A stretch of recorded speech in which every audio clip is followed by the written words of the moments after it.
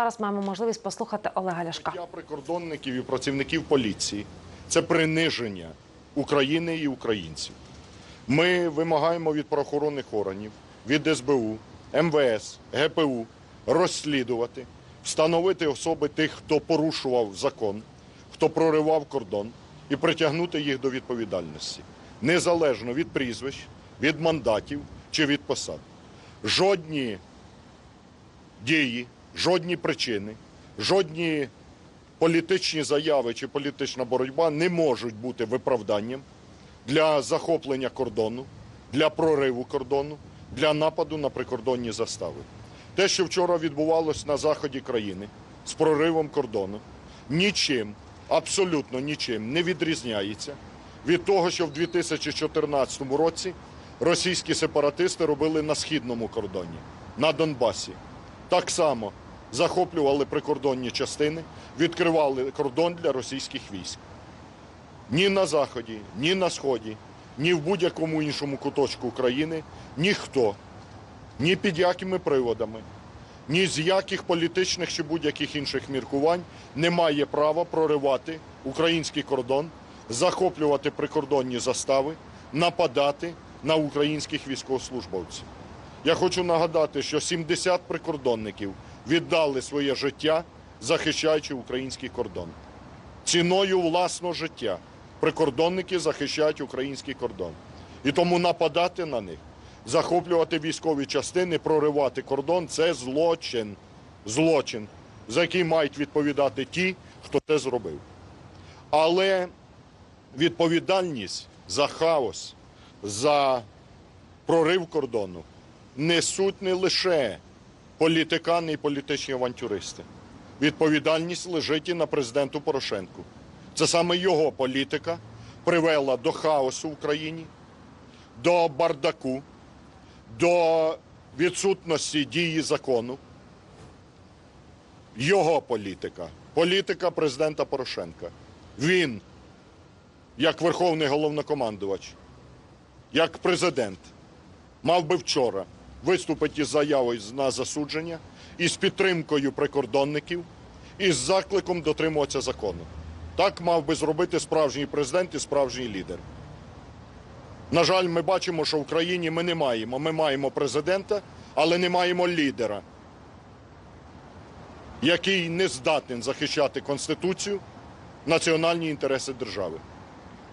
Тому ми вважаємо, що події, які відбуваються сьогодні в країні, коли боротьба за владу доходить до захоплення кордонів, до проривів кордонів, це абсолютно неприйнятні дії, які ми категорично засуджуємо і вимагаємо від кожного, від кожного політика.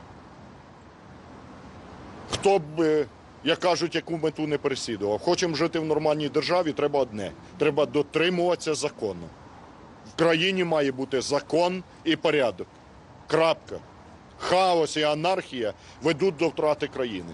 І якими політичними лозунгами не прикривались.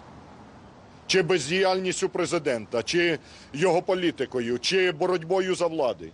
Ніяка влада не коштує того, щоб проривати кордон, захоплювати частини, дискредитувати Україну на міжнародній арені перед нашими міжнародними партнерами, демонструвати всьому світу, що в Україні немає закону, немає порядку, немає кордону. Це дискредитація України. Ми, як українська політична сила, яка є в опозиції до влади, ми категорично засуджуємо тих, хто дискредитує Україну. Ми засуджуємо бездіяльність, а точніше злочинну бездіяльність президента Порошенка. Ми засуджуємо політику президента Порошенка, яка привела до хаосу в Україні. Але водночас ми вимагаємо відповідальності для тих, хто вчора, як сепари на Донбасі в 2014 році, отак вчора на заході країни захоплювали кордон, проривали його, били прикордонників. Я хочу окремо звернутися до прикордонників. До цих героїчних і мужніх чоловіків і жінок, які виконують присягу, які захищають кордон ціною власного життя, як ми вчора побачили здоров'я. Команда радикальної партії разом з вами. Я звертаюся до прикордонників які вчора постраждали, і поліцейських. Я звертаюсь до прикордонників по всій країні. Я звертаюсь до політиків.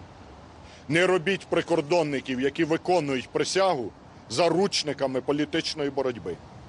Це обов'язок прикордонників захищати країну. Ми надіємося на них. Ми дякуємо їм за захист країни. І наша команда підтримує прикордонників, коли вони виконують присягу, яку вони дали на вірність народу України.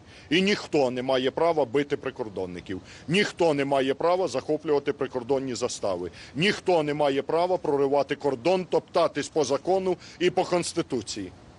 Це хаос, який знищить країну. Ми хочемо сильну країну. Ми хочемо, щоб нашу країну поважали в світі. Ніхто не поважатиме країну, де хаос, беззаконня і анархія. Дякую. Е, Скажіть, будь ласка, е, Генеральну прокуратуру ви вже подали заяву, чи ви будете тільки е, звертатися? Ми вже звернулися. Оці наші публічні заяви це є наші заяви.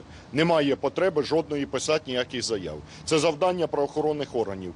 І я знаю, що вони вже проводять відповідні розслідування.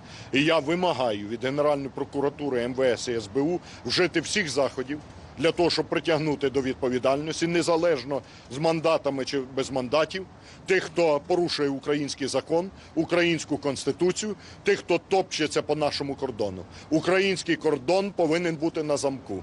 Український кордон повинен бути священний і недоторканий. Ніхто ні під якими приводами, ні під якими причинами, ні, е, е, ні при яких обґрунтуваннях не має права порушувати закон, порушувати конституцію і порушувати український кордон. Це наша чітка позиція нашої команди.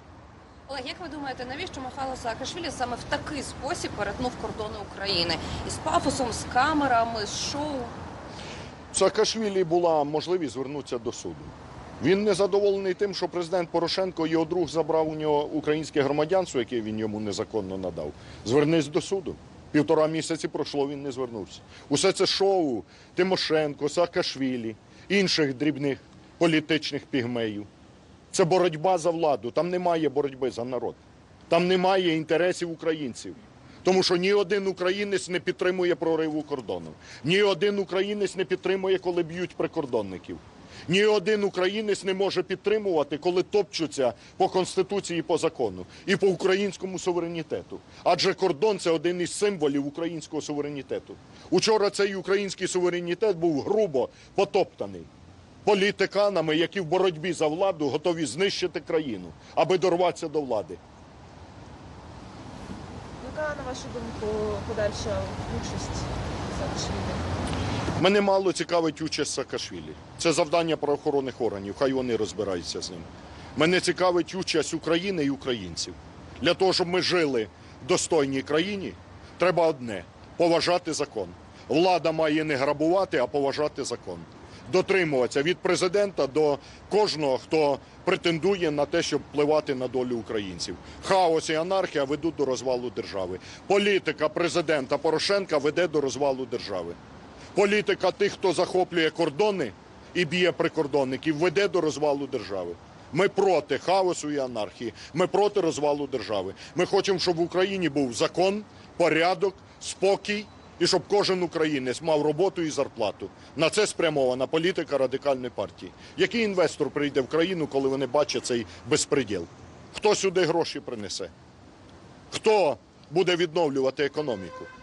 Потім ми дивуємо, що українці тікають з країни.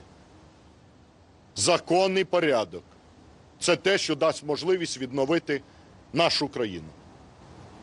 Дякую. Пане Олеже, що на вас От зараз.